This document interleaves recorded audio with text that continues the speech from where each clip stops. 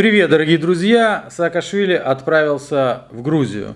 Саакашвили отправился в Грузию в аккурат перед виборами. Вибори 2 жовтня у Грузії місцеві вибори. Я не роблю це для себе. Я не маю особистих амбіцій, не збираюся боротися за посаду в уряді, але я збираюся боротись за майбутнє наших дітей. Я должен заметить, что у Саакашвили никогда не было амбиций. Это самый неамбициозный человек На всем постсоветском пространстве, можно так сказать. И именно из-за амбиций своих, наверное, которые у него, которых у него нет, его не устроила та должность, которая просто, ну, пятое колесо, да, какой-то там в ради реформ, сиди и не дергайся, получи себе машину средненькую, катайся, умничай. Саакашвили не влиял ни на что, именно это его и не устраивало, потому что он президент внутри.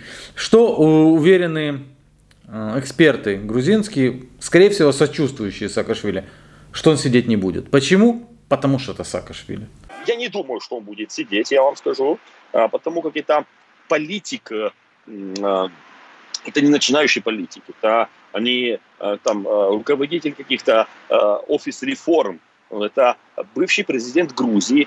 А если это бывший президент Грузии, если это не начинающий политик, если это политик известный всем, то сидеть он, конечно, не будет, потому что он необычный смерть какой-то. Думаю, что международная, э, так скажем, э, э, политики международного уровня соберутся и будут нам просить, чтобы он не сидел в тюрьме. Я вам скажу, что в Европе всегда так. Сак, этот самый, как Саркози подтвердит, тоже НАСА, кстати, да. В Европе всегда так. Собираются политики мирового уровня и говорят, можно, чтобы он не сидел? Ну, окей, давай. Это, к этому мы именно и идем, да.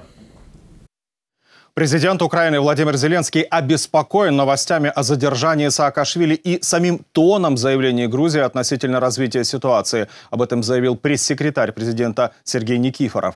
Вроде говорят, э, что персен успокаивает. Если ты вдруг э, обеспокоен чем-то, принимаешь персен. Но это э, Зеленскому надо переходить на персен каждый день вместо этого самого лучше персен принимать, тогда ну, как-то обеспокоенность спадает. Министерстве иностранных дел Украины сообщили, что уже вызвали посла Грузии в Украине для получения официальной информации о причинах и основаниях задержания. Консулы работают над оказанием помощи Саакашвили. Причем тут консулы, причем тут Украина, потому что он гражданин Украины. Да, да, именно гражданин Украины решил отправиться в Грузию для того, чтобы підбурювати протесты, выйдут за меня миллионы на улицу, вы, выкатят и так далее. В чем же обвиняется Саакашвили? По делу Михаила Саакашвили заочно вынесены строгие приговоры. Они окончательно и обжалованию не подлежат. По одному из дел сначала ему грозило 8 лет тюрьмы, но был применен закон об амнистии и срок сократился до 6 лет. А так как мы говорим о тяжких преступлениях, ни о какой экстрадиции и переводе в другую страну речи быть не может. Разгон демонстрации с явным превышением служебных полномочий, убийства, э, какие-то э, хищения денег и так далее. Я не знаю, что по поводу хищения денег – не в курсе, что там по убийству.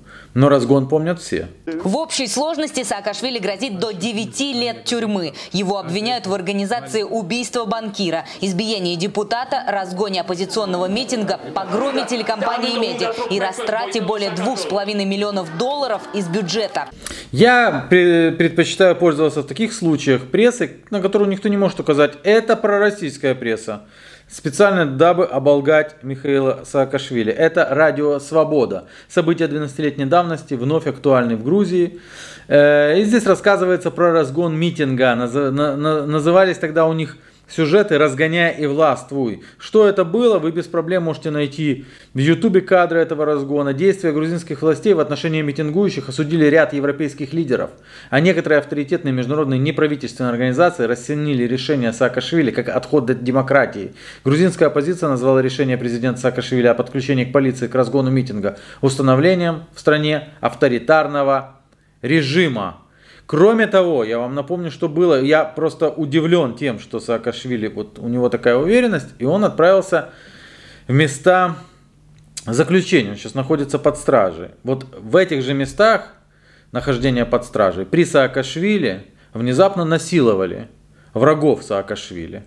И эти кадры разошлись по всему миру. Они вызвали шок также у международных организаций. И вроде бы как сообщается, что они сильнейшим образом повлияли на выборы – Теперь включается в эфир Хатия Деканаидзе. Если вдруг вы не помните, это тот человек, который приехал из Грузии, для того, чтобы переделать у нас в Украине правоохранительную систему. Как переделала, вы видите, конечно же. Не, ну вначале там ходили вот эти вот, я полицейский, помните, фоточки, я снял котика.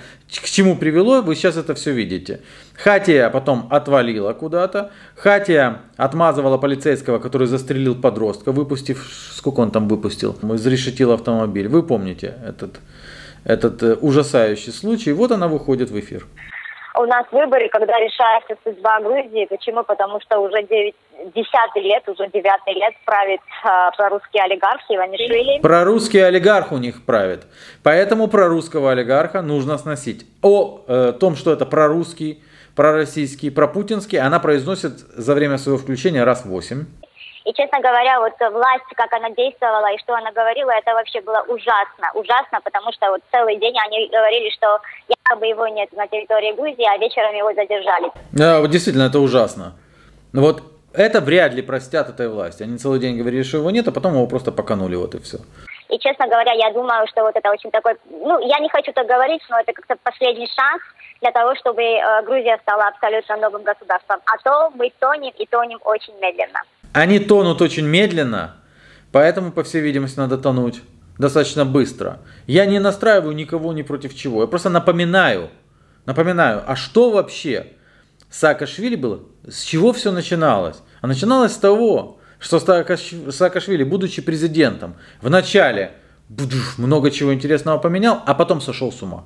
Хотя, но если э, голосование пройдет не в пользу вашу, то это значит, что Михаил Саакашвили будет, э, будет, предстанет перед судом и, по всей вероятности, окажется в тюрьме.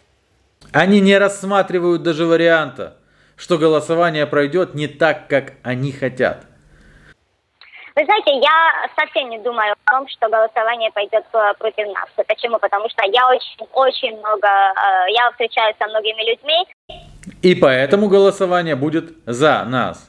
Про Украину мы уже забыли, переключаемся на Грузию, там нас выберут а, по всей территории Грузии. Я сама э, как бы вот участвую в выборах, и, честно говоря, каждый грузин, каждый человек, каждый гражданин Грузии понимает, что за власть сегодня в Грузии. Это пророссийский, пророссийская власть.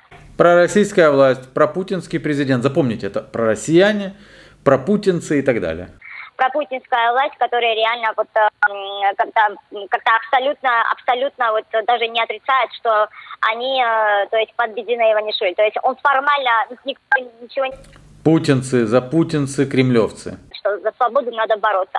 А Грузия пока не свободная. Почему? Потому что, к сожалению, инфильтрация российских, пророссийских сил, к сожалению, инфильтрация российских спецслужб. Вот. Российские службы, российские спецслужбы, пророссийские силы, Путин, Кремль. А, чтобы Грузия как бы доказала и показала, что надо бороться за свободу, чтобы показала и проголосовала против грузинской мечты, против э, пропутинской власти.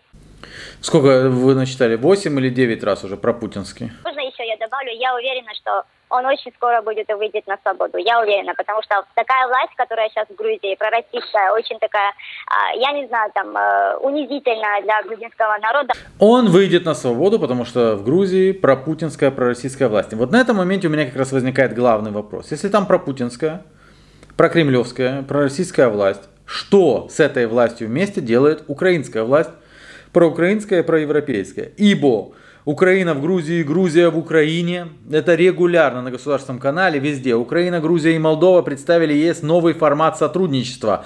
Этот формат, кстати, я условно назвал бы объединение сильных. Далее, Украина, Грузия и Молдова заявили о стремлении в ЕС. По всей видимости, пропутинская власть заявила. Грузия Украина уже признали сертификаты от вакцинации. Уже что только они, Украина, Молдова и Грузия создали асоци... ассоциированное трио для усиления евроинтеграции. Господи. Ну, смотрите, Россия россияне как испугались. Украина, Грузия и Молдова. Союз сильных движется вперед. Согласовали дорожную карту транспортного коридора и так далее. Так это получается все это время, когда нам рассказывали о том, что вот Грузия это наши уже реально браты, оказывается, они были все время это пропутинскими, прокремлевскими, пророссийскими и позорными. Не могу вообще ничего понять. Но зато могу понять, почему Михаил Саакашвили решил ехать туда. Как вы Я думаете, думаю, почему? что у нее гораздо больше поддержки, чем говорят, потому что опросами это не мерится в такой стране, как Россия. Э, Когда нет демократии, когда нет политического процесса, то это от взрыва до взрыва.